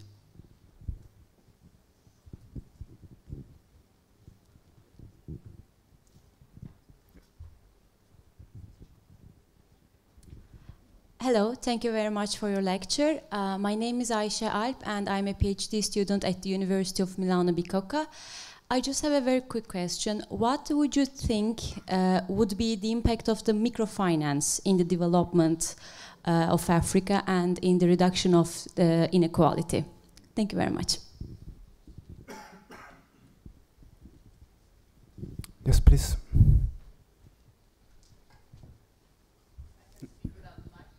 Okay, yes. No, oh, can, can you give it? Thank you. Francesca Romagna-Cur, University of Milan, and member of the scientific board of the foundation. Thank you very much for your very interesting presentation. Uh, it's a very easy question, actually. You spoke about the fact that the World Bank has the objective of reducing poverty, and you said that inequality is the, one of the biggest challenges. So how what does the World Bank have a strategy, uh, considering that it has a very important role that in in Africa, as in many developing countries, and as an intermediary for foreign investments, and it has maybe privileged uh, relationship with governments and maybe also with um, with the populations. Are there any main goals or strategies that you are uh, pursuing? Thank you very much. Yes, please. My name is Giulio Gabbionetta. Sorry, here. Thank you for your lecture, entrepreneur. Uh, I wanted to know uh, among the uh, African countries, which you think uh, they're going to be the best from an economical and political point of view in the next years? I mean, overall. Sorry, I, I missed that. Which one? Which, which what are going to be the best? which countries uh. in Africa are going to be the best from econom from an economical and political point of view in the next uh, in the forthcoming years? All right. Shall I take those because those are four? Okay. All right, let me try and be briefer, because also some of these questions are harder for me to answer than the previous one. So let me let me try and be and, and be and be brief. Um, coal.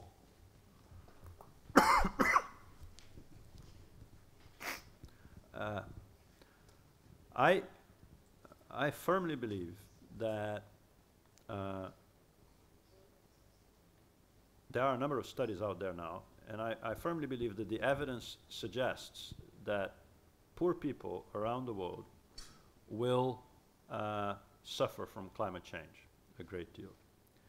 Uh, and uh, the use of coal, of course, uh, affects that. I know you're not, not liking this answer. Uh, so I think, I, think, I think that is true. I also think that uh, coal is widely used around the world, and to ask Africans to not use coal before other people stop using it is unfair. Um, so what I would like to see, and that may be different than what you would like to see, but what I'd like to see is a much broader reduction of coal usage around the world, including uh, eventually in Africa, rather than beginning with Africa. The part of the US policy that I agree with you is silly, only that part, is to enforce this on Africa before others do it. Um, but I do think that as a global community, we should take climate change more seriously than we do and reduce coal usage widely. Um, you know, cropping patterns are going to change in South America and Africa. And who do you think will find it hardest to adjust to those cropping pattern changes as a result of climate change, right? It's the poor people. So climate change will be a big problem for poverty. Uh, and I don't think we can get away from that. So I think where you and I might agree is that asking the Africans to, use, to stop using coal or to not use coal before others is unfair. Um, on, the, on, the, rest, perhaps we won't agree.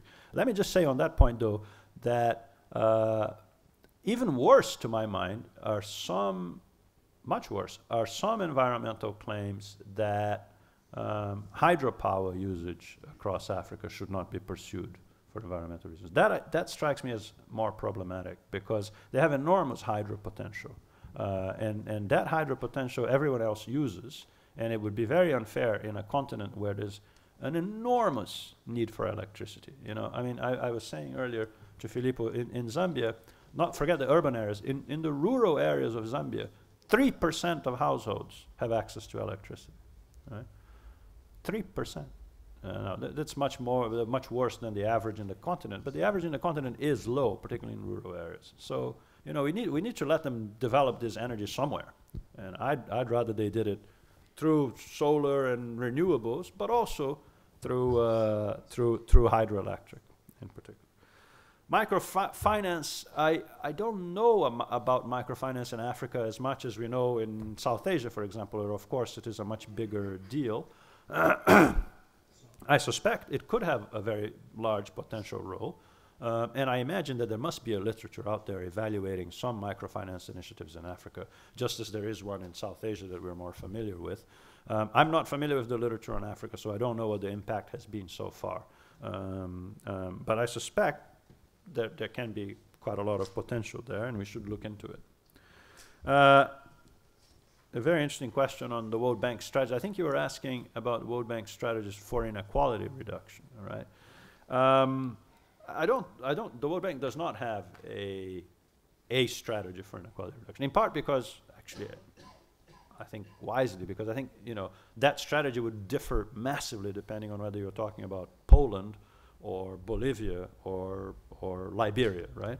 So it, it does depend on the context to a great deal. Now, the World Bank did try and create something to focus the mind on inequality, and that was, I mean, I don't know how widely that is known here, but when we when the World Bank introduced these two targets that, that, that we're supposed to, to have, right? The two targets are poverty and shared prosperity. Poverty is bringing poverty down at $1.25 a day to 3% by 2030. Shared prosperity, the target is country specific, and it's to say, even if you're a relatively middle income country, richer country, where you don't have that much extreme poverty, you should still focus on the well, on, on, on the growth rate of your bottom 40%. So when they talk about promote the growth in incomes of the bottom 40%, that's their definition of shared prosperity. It's one that I'm not 100% happy with, to be honest, but it's a, it, it does at least do one reasonable job, which is to focus on the distribution of growth. Okay, I think there isn't a global strategy.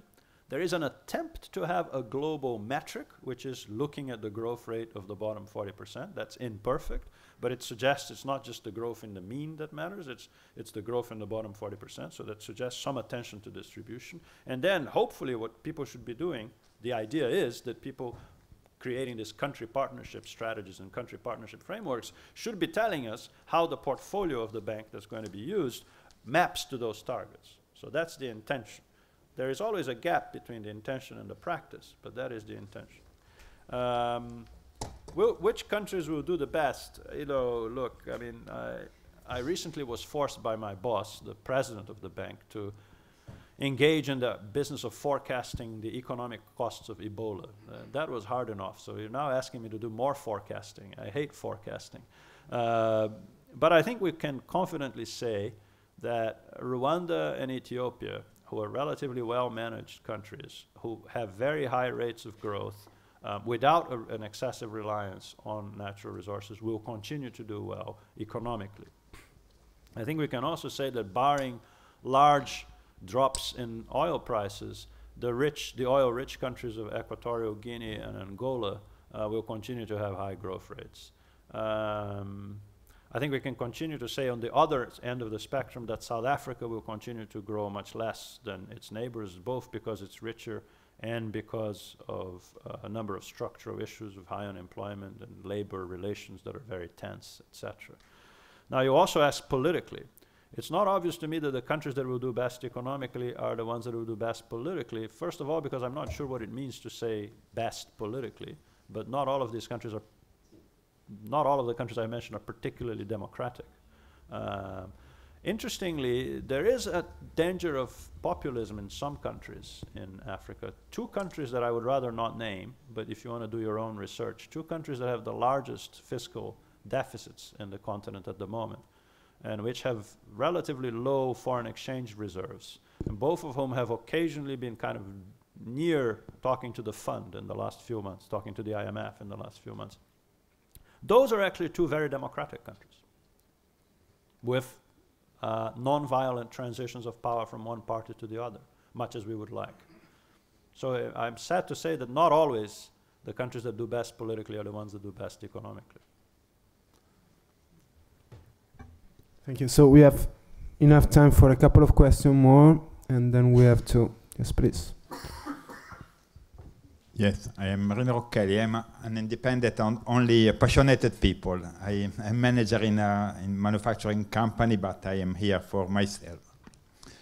Uh, my question is, I, I could say, and I agree absolutely with you that are more expert that uh, South American 30 years ago, 20 years ago was unequal. There was big inequality. I had to work uh, since 85 with Brazil and they can say that inflation was very high and so on and so on and so on.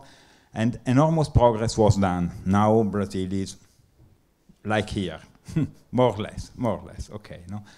So this best practice of South America, according to you, can be exported to Africa.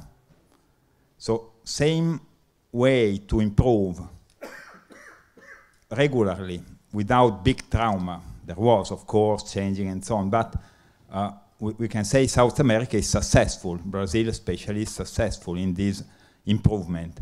You think can be exported to some countries of Africa, this uh, best practice?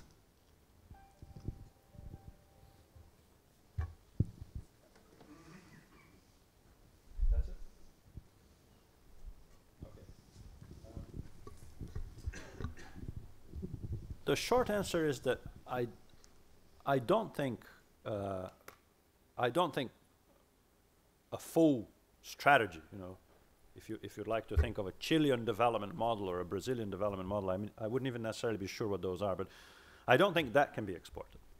I think the, the contexts matter enormously. If there's one thing we learned, right, in the last 20 years from development economics is that cookie cutter approaches don't work. We, we think we have a template that can fit everywhere. It never works because the institutions are different, the cultures are different, the economic foundations are different. Um, on the other hand, I do think there are elements that can. So one thing that I, I, talked about the conditional cash transfers because I think 20 years ago, our policymakers and our societies had exactly the same attitude to redistribution of this kind. We were of the view that, you know, to poor people was a waste of time and that they would drink it, basically. And that's, you know, a bit of a caricature of what African policymakers think today, but only a bit of a caricature. Um, and I think we learned a lot, and our political views changed um, as a result of experimentation and learning. Uh, incidentally, experimentation and learning from countries both on the left of the spectrum and on the right, both Mexico and Colombia that, that introduced uh, very good uh, schemes of this kind, did not have left-wing government. So I think that, that, that is one. Um, I think there's enormous interest in Africa to learn from the Latin American experience. I myself had the, the honor and privilege to speak to President Ouattara of, of uh, Cote d'Ivoire, and more recently to uh, a senior policymaker in, uh, in Zambia about the Brazilian experience. And they, they asked me specifically to go there, and because I don't want to go to a place and start talking about my country, but they asked me specifically, you know, what, what, how did Brazil reduce poverty in this way and, and the other? Uh, so I think there are elements that, that can be. There are other elements that cannot. When I tell them the story about Brazilian poverty reduction, I have my little PowerPoint. You know, one part of it was a very large rise in the real value of the minimum wage which worked very well in Brazil, didn't lead to much unemployment yet, didn't lead to much informality yet. Actually, form formalization continued to grow. But do I think I want to export that particular policy to Cote d'Ivoire? I'm really not sure. I'm really not sure. I'm not saying no, but I think you know we have to look. I mean, you can't just go into a labor market and raise the minimum wage because it worked somewhere else, right? So one has to be very careful. When I say that to them, I say, look, I'm telling you what happened in Brazil. I'm not telling you each of these things you should do here. That would be crazy. But there are some things that, that can be done. Uh, but you know, on the other hand, you can't think about reducing poverty in Zambia or Cote d'Ivoire without a huge focus on agriculture. And in Brazil, the agriculture was entirely taken care of by the, by the, by the private sector and agribusiness, and we were in any case 80% urban. So there was a non-policy story, except if you go back to think of Embrapa and the policies that created it many years before. But that's a different, that's a different story. So the nuanced answer is, I think elements can be useful, but not whole packages. Okay, so any uh, any more question? Uh, this is probably too too wide. uh, we we don't have all that time, and uh, I apologize for that. Anyway. Okay, uh, let me just advertise uh, our uh, next lecture, and um, we will have at the end of October Michael Levi uh, from Council on uh, Foreign Relations, and he will address the energy security um, link uh, Uh, with uh, the hydrocarbon um, exploitation in US. Uh, we will send you the, the exact date. Now we have a very simple, but I hope nice cocktail. Again, thank you very much to the audience, to you, and thank you very much to Francisco Ferreira for his outstanding lecture. Thank you. Thank you for having me.